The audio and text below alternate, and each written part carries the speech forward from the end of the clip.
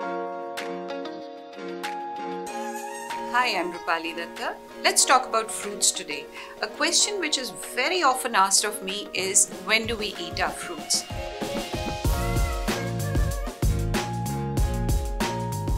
Fruits, we all know, are a very essential part of a normal balanced meal.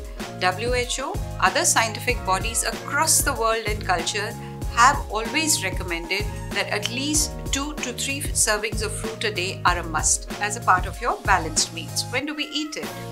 Personally, I recommend that you eat your fruit in between your meals because fruits provide electrolytes, they provide fiber, they provide a little bit of simple sugar, so they make for a wonderful healthy snack.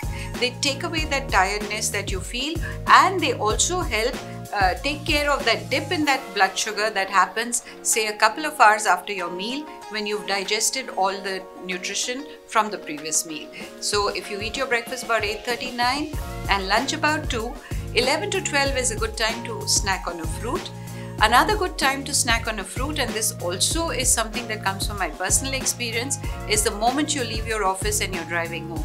We all have a certain amount of travel time involved. Eat your fruit, munch your fruit on your way back. That voracious hunger that hits you the moment you step into your home will be taken care of. A lot of people like to eat their fruit after dinner. No problem. It's a good substitute. You know, those of you who have a sweet tooth and want to finish off with something sweet, then uh, fruits make for a good uh, dessert. But having your day's, uh, you know, fruit at the end of the day, that doesn't make sense. Spread it through the day. At that time, about 8:39, your body is also winding down. It is not going to use that amount. You know, even that little bit of sugar will become too much, and all that will happen is it gets converted to fat for storage.